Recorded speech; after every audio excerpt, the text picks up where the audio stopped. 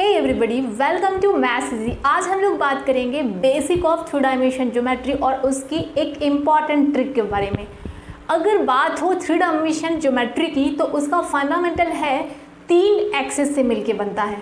तीन axes X Y Z axes आप जिस भी रूम में बैठे हुए हैं, उस रूम के सबसे किनारे, दीवार का एक कॉर्नर देखिए। आपको थ्री एक्सेस दिखाई देंगे। बेसिकली थ्री डायमेंशन ज्योमेट्री का सबसे क्लासिक एग्ज़ाम्पल वही है। थ्री डायमेंशन ज्योमेट्री का बेसिक क्या होता है? एक्चुअली तीन प्लेन होते हैं जो आपस में परपेंडिकुलर होते हैं। वो एक दूसरे को इंटरसेक्ट करते हैं ओरिजिन पे, यानी कि ओ पे।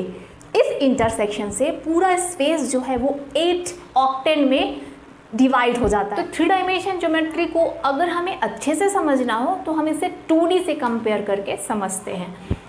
हमने टू में पढ़ा था, हमेशा से पढ़ते आ रहे हैं सिक्स क्लास से आपने पढ़ा है, कि इस तरह से एक्स हॉरिजेंटल एक्सेस होता है वर्टिकल एक्सेस वाई होता है, दोनों इंटरसेक्ट करते हैं ओरिजिन पे ओरिजिन के कोऑर्डिनेट होते हैं ज़ीरो ज़ीरो फ़र्स्ट क्वाड्रेंट होता है, जिसमें प्लस प्लस होते हैं, यानी एक्स और वाई दोनों पॉजिटिव होते हैं, और जो सेकेंड क्वाड्रेंट है, उसमें क्या होता है एक्स नेगेटिव हो जाता है वाई पॉजिटिव हो जाता है minus minus and plus minus, ये सब हम लोगों ने पहले से पढ़ा है। अब थ्री में क्या होता है कि तीन प्लेन होते हैं। तीन प्लेन। अब ये प्लेन क्या है? कोई राइटिंग पैड, कोई एक बहुत बड़ी स्क्वायर पेपर की शीट। बस, वो प्लेन है। तो तीन प्लेन होते हैं जो, जिन्हें, जो आपस में क्या करते हैं? एक दूसरे को इंटरसेक्ट करते हैं।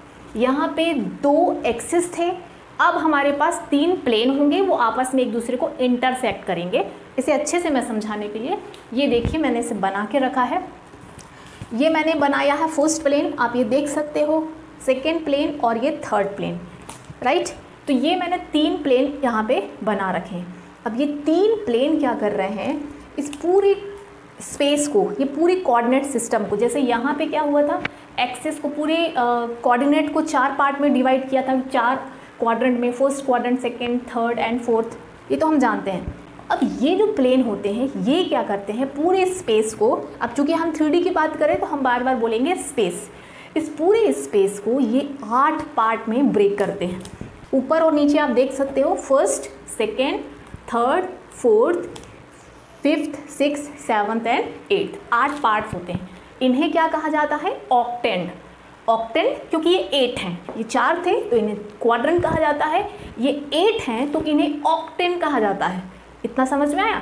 अब जैसे कि हमने six seven eighth nine classes में बहुत बार यूज़ किया था कि फ़र्स्ट क्वाड्रेंट में दोनों पॉजिटिव और सेकेंड क्वाड्रेंट में एक्स नेगेटिव वाई पॉजिटिव इसी तरह से इन ऑक्टेंस में भी होता क्या है कि जो एक्स वाई जेड है, वो according to situation according to their location अपना साइन बदलते रहते हैं।